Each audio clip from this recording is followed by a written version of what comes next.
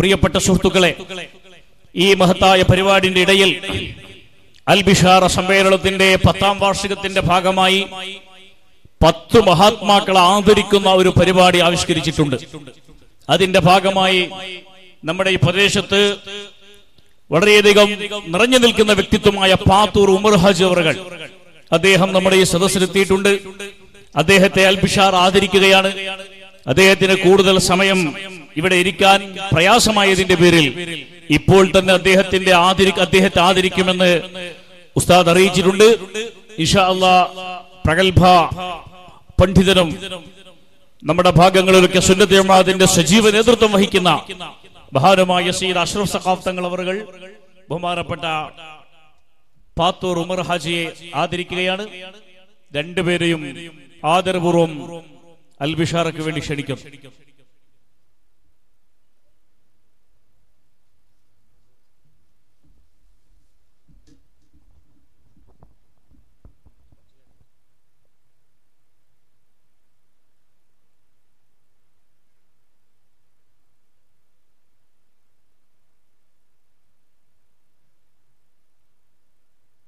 അല്ലാഹു അക്ബർ അല്ലാഹു അക്ബർ അല്ലാഹു അക്ബർ വലില്ലാഹിൽ ഹംദ്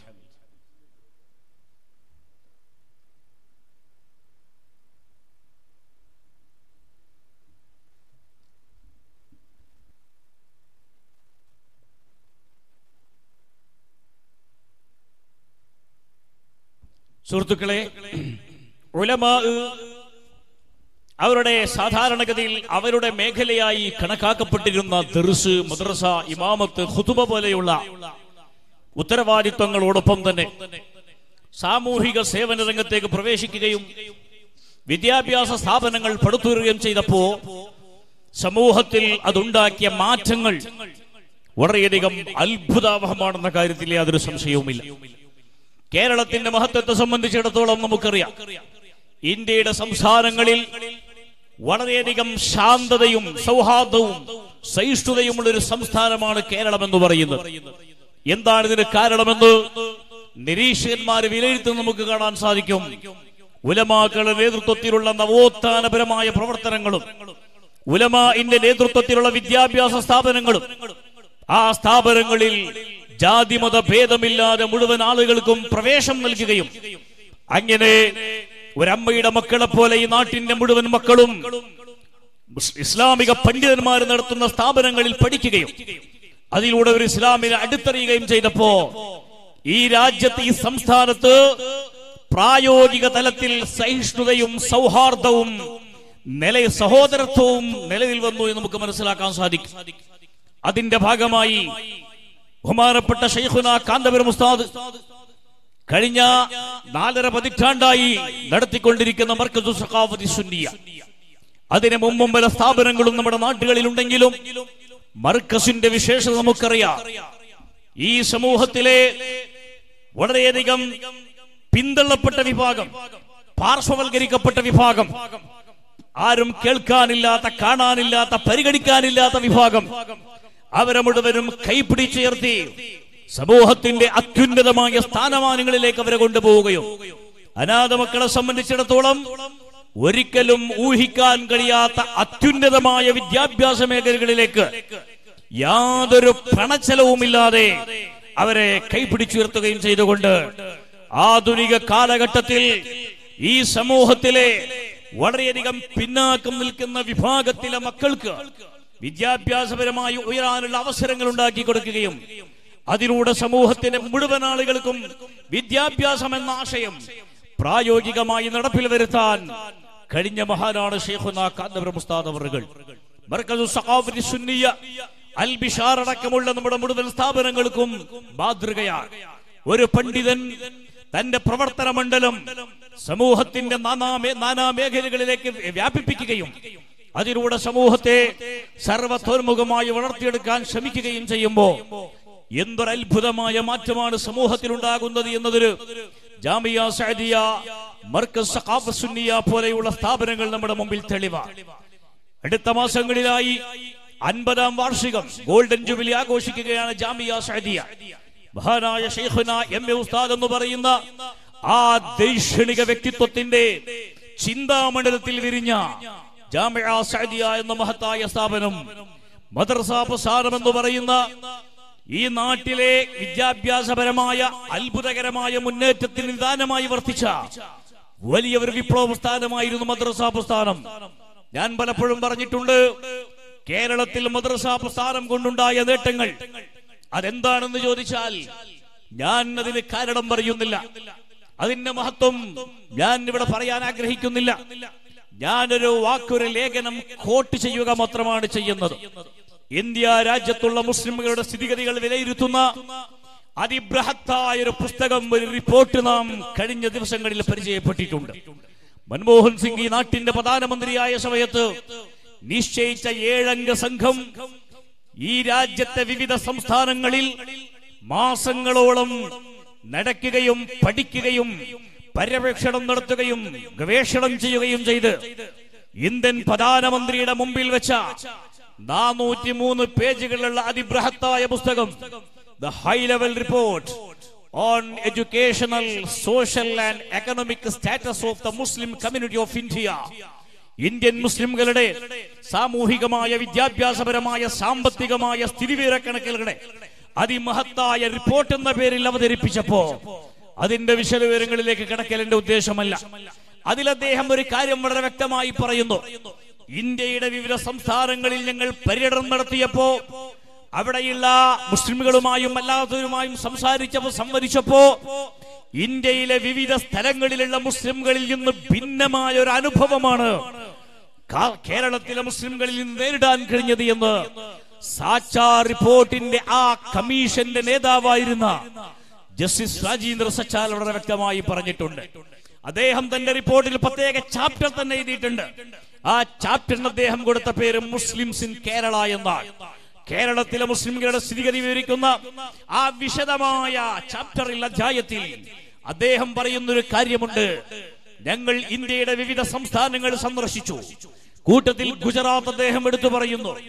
ഇന്ത്യൻ മുസ്ലിംകൾ ഭയത്തോടെയും പേടിയോടെയും സുരക്ഷിത ഭാവമില്ലാതെ വിഹുലമായ ഒരു അവസ്ഥയിൽ ജീവിക്കുന്ന സംസ്ഥാനമാണ് ഗുജറാത്ത്. അവിടെയുള്ള മുസ്ലിംകൾക്ക് ഭയമുണ്ട്. അവർക്ക് പ്രതീക്ഷയില്ല. അവർ ആ സമൂഹത്തിലെ മുഖ്യധാരയിൽ ലയിക്കാൻ ഭയക്കുന്നൊരവസ്ഥയിലാണ് അവിടെ ഉള്ളത്. അതല്ലെങ്കിൽ അവിടെയുള്ള മുഖ്യധാരയിൽ നിന്ന് ഇവരെ മാറ്റപ്പെട്ടിരിക്കുകയാണ് എന്ന് എഴുതുമ്പോ കേരളത്തിലെ മുസ്ലിംകളിൽ നിന്ന് അനുഭവിക്കേണ്ടി വന്ന യാഥാർത്ഥ്യം അത് ഭിന്നമാണെന്ന് അദ്ദേഹം രേഖപ്പെടുത്തി. അദ്ദേഹം പറഞ്ഞു ഞങ്ങൾ കേരളത്തിൽ വന്നപ്പോ ഇത് ഇന്ത്യയുടെ ഭാഗമാണോ എന്ന് പോലും സംശയിച്ചു പോയി. കാരണം ഇവിടെയുള്ള മുസ്ലിംകൾ അവർ സുരക്ഷിത ബോധമുള്ളവരാണ്. അവർ വളരെയധികം സന്തോഷമുള്ളവരാണ്. അവർക്ക് ഇൻസെക്യൂരിറ്റി ഫീലിംഗുകളില്ല അവർക്ക് ഇൻജസ്റ്റിസ് ഫീലിംഗുകളില്ല അവർക്ക് സ്വാഭാവികമായിട്ട് ഇവിടെയുള്ള മുഴുവൻ മുഖ്യധാരകളിലും ലയിച്ചു ചേരാനുള്ള സന്ദർഭങ്ങളും സാവകാശങ്ങളും ഉണ്ട് ആ വിഷയം ചർച്ച ചെയ്തുകൊണ്ട് നിന്നൊരു യാഥാർത്ഥ്യമുണ്ട്. അതിന് കാരണം ഇടയുള്ള നവോത്ഥാന പ്രസ്ഥാനങ്ങളാണ്. ഇന്ത്യയെ സംബന്ധിച്ചിടത്തോളം ഇസ്ലാം ഒരുപക്ഷെ ഫോബിയായി അവതരിക്കപ്പെട്ട സംസ്ഥാനങ്ങളുണ്ട്. ഇസ്ലാമിനെ ഭയമായി പരിചയപ്പെടുത്തപ്പെട്ട സംസ്ഥാനങ്ങളുണ്ട്. അത്തരം സ്ഥലങ്ങളിൽ മുസ്ലിംകൾക്ക് വളരെയധികം മറ്റുള്ളവരിൽ നിന്നുള്ള വർഗീയ വിചാരങ്ങളും വർഗീയ അനുഭവങ്ങളും നേരിടേണ്ടി വരുന്നുണ്ട്. അതേസമയം കേരളത്തെ സംബന്ധിച്ചിടത്തോളം കേരളത്തിലെ മുസ്ലിംകൾക്ക് അത്തരത്തിലുള്ള പ്രശ്നമില്ലെന്ന് അദ്ദേഹം എഴുതുന്നു.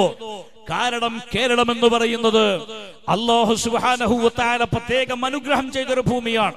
ഇവിടെയുള്ള ഉലമാ നാടിന്റെ എല്ലാവിധ പ്രവർത്തനങ്ങൾക്കും മുന്നിൽ നിന്ന് പ്രവർത്തിച്ചപ്പോ ഈ നാട്ടിലെ വിദ്യാഭ്യാസ പ്രവർത്തനങ്ങൾക്ക് നേതൃത്വം നൽകിയപ്പോ സമന്വയ വിദ്യാഭ്യാസ സ്ഥാപനങ്ങൾ ഉണ്ടാക്കിയപ്പോൾ കേവലം മദ്രസകൾ മാത്രമല്ല പള്ളികൾ മാത്രമല്ല പള്ളി ദർസുകൾ മാത്രമല്ല ശരിയ കോളേജുകൾ മാത്രമല്ല ഇംഗ്ലീഷ് മീഡിയം സ്കൂളുകൾ മുതൽ പി ജി വരെയുള്ള വിദ്യാഭ്യാസ സംരംഭങ്ങൾക്ക് ഉലമാക്കൾ തുടക്കം കുറിച്ചപ്പോ അതിന്റെ കൂടെ മോറൽ വാല്യൂകളുള്ള വിദ്യാഭ്യാസങ്ങൾ കൂടെ ഇതിന്റെ കൂടെ കൂട്ടിയപ്പോ പ്രിയപ്പെട്ട സുഹൃത്തുക്കളെ ഇവിടെയുള്ള ഹിന്ദുവും മുസ്ലിമും ക്രൈസ്തനും യഹൂദനും മറ്റുള്ള സർവമതത്തിന്റെ ആളുകളും ഒരമ്മയുടെ മക്കളെ പോലെ തോളുരുമ്പി ജീവിക്കാനുള്ള ഒരു സാഹചര്യമുണ്ടായി എന്ന കണ്ടെത്തൽ കേരളത്തെ സംബന്ധിച്ചിടത്തോളം അഭിമാനകരമായ ഒരു ആസ്വാദനമായി നമുക്ക് കാണാൻ സാധിക്കും.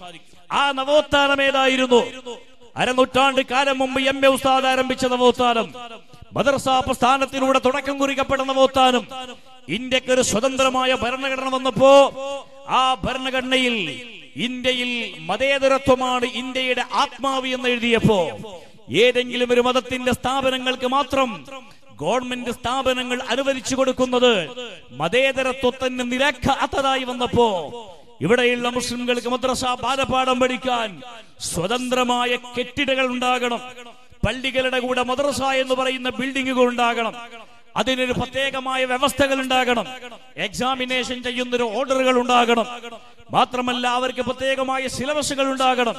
ഗവൺമെന്റ് നിയന്ത്രിക്കുന്ന സ്കൂളുകളെ പോലെ അല്ലെങ്കിൽ അതിനേക്കാളും കാര്യക്ഷമമായ രൂപത്തിൽ മദ്രസ സംവിധാനത്തെ സംബന്ധിച്ച് ആലോചിക്കുകയും വളരെ പ്രായം കുറഞ്ഞ സമയത്ത് അത്തരത്തിൽ സമസ്ത കേരള ജമഴിയത്തിലുള്ള മേൽ ചർച്ച ചെയ്യപ്പെട്ട ആ പ്രമേയം പാസാക്കപ്പെട്ടപ്പോ അതുമായി ബന്ധപ്പെട്ട് പ്രവർത്തിക്കുന്ന കമ്മിറ്റിയിൽ അംഗമാവുകയും ഇന്ന് നമ്മൾ ഇന്ത്യ രാജ്യത്ത് മുഴുവനും അതോടൊപ്പം തന്നെ അന്താരാഷ്ട്ര മേഖലകളിലും വരെ പരന്നു കിടക്കുന്ന മദ്രസ വിദ്യാഭ്യാസം എന്ന് പ്രസ്ഥാനം എന്ന് പറയുന്ന അതിമഹത്തായ ഈ പരിവർത്തനത്തിന് തുടക്കം കുറിക്കുകയും ചെയ്ത എം എ ഉസ്താദിന്റെ നവോത്ഥാനമായിരുന്നു.